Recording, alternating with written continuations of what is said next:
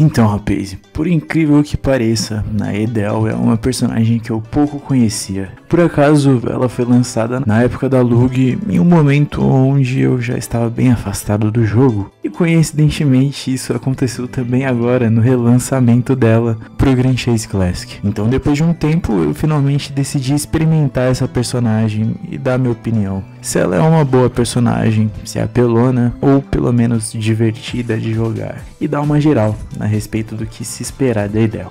Bom, de início já fica bem nítido que a personagem é bem voltada para a movimentação, e isso só vai ampliando conforme evoluir da sua árvore de talentos. Cada vez mais a personagem desbloqueia alguns dashes, esquivas e técnicas novas. Falando em técnica, ela tem bastante dessas habilidades que podem ser counteradas durante a sua conjuração, mas geralmente são movimentos rápidos, dá para você encaixar ali durante os seus combos. Além dessas habilidades, Edel também tem bastante buffs, o que deixa a gameplay dela muito voltada de fato para movimentação e combo.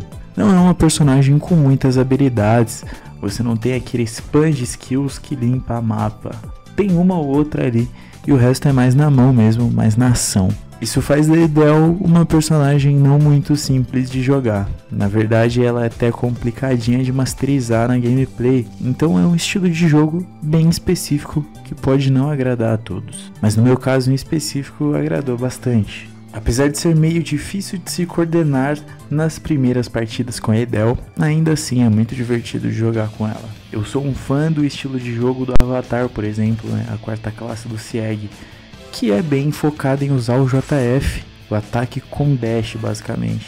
Então acabei me sentindo mais confortável com o estilo de jogo da Edel, sem muito spam de skill, mas focado no ZZZ ali na movimentação. Esses dashes e esquivas da personagem fazem dela bem roubada para upar no começo do jogo, né? O early game, level mais baixo, é bem tranquilo de jogar. Porém, a dificuldade aumenta conforme a progressão de level. Em mapas de nível mais alto, com mobs maiores, é mais difícil de você abusar só dessas mecânicas de movimentação. E como ela não tem tanta habilidade para dano em área, acaba dando uma dificultada na gameplay. Mas no geral, a árvore de talento dela não tem muito segredo. Você tem os ataques especiais e eles vão evoluindo e mudando, tá? Tem uma das skills, por exemplo, que muda a direção do corte.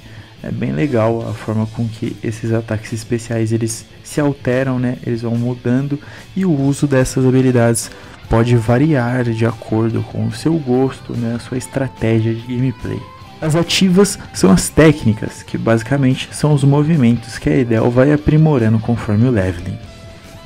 Tanto os ataques especiais quanto essas ativas e passivas mudam com o evoluir da classe e se complementam. Né? Você não vai perder da classe anterior, você só vai complementar com a da segunda classe. E um negócio bem maneiro também da personagem é que ela, além dessa espada, né, que é na real um florete, ela também carrega uma pistola e que pode ser utilizada durante os combos com a tecla X. E é bem único isso aqui. Eu nunca vi nenhum outro personagem, né? Então é bem único realmente da Edel. É interessante ressaltar também que a Edel é uma personagem do tipo híbrido, porém que tem uma evolução de segunda classe e não classe especial, o qual é o normal dos personagens híbridos. Então podemos esperar que venham possíveis terceira e quarta classe para Edel também. Ainda não temos essa informação, mas eu acredito bastante que sim. E no geral é isso, meus manos. A Edel é uma personagem muito boa. Não diria que ela é ranking S, ela tá um pouco abaixo. Não tem muitas habilidades para limpar mapa, é um personagem dificinho de jogar e tem muito dash, muita movimentação ali. Acaba sendo um pouquinho complicado.